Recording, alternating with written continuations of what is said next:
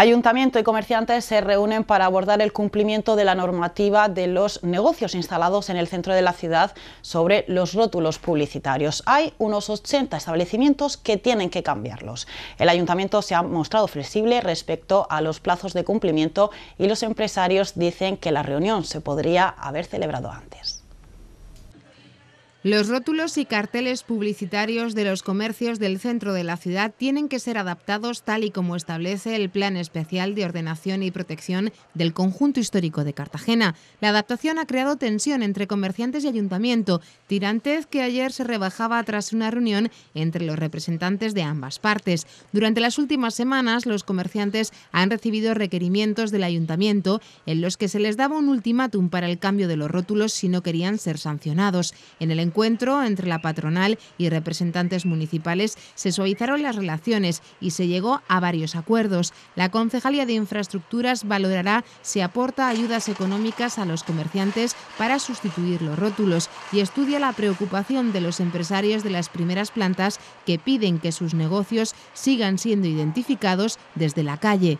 trasladar tranquilidad a los que ya han recibido los requerimientos de que se está trabajando en ver cómo se puede, eh, puede hacerse este proceso de la mejor manera y con las, las mejores ayudas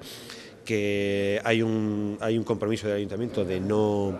de no hacer ninguna eh, acción administrativa adicional mientras no lleguemos a, los acuerdos y dejar ese tiempo prudencial para poder realizar el cambio. Es verdad que a nosotros nos hubiese gustado hablar de todo esto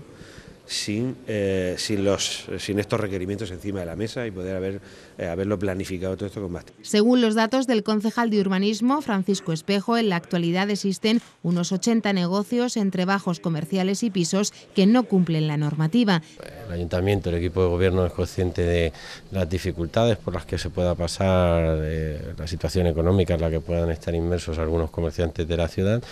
pero nosotros siempre recordamos que la situación que hemos puesto de manifiesto es una situación claramente irregular que incumple con la, con la norma eh, que existe en, nuestro municipio, un municipio que pretende ser turístico, que pretendemos vender eh, fuera de nuestras eh, fronteras y que por tanto intentamos en la medida de lo posible que nuestro casco urbano sea lo más llamativo posible para aquellos que consideran oportunos visitarnos. Desde el año 2006 las nuevas condiciones se han venido aplicando en varias zonas del casco histórico y especialmente por parte de los nuevos establecimientos que se han abierto al público o han hecho reformas. La próxima semana los empresarios y el edil volverán a reunirse para seguir buscando soluciones.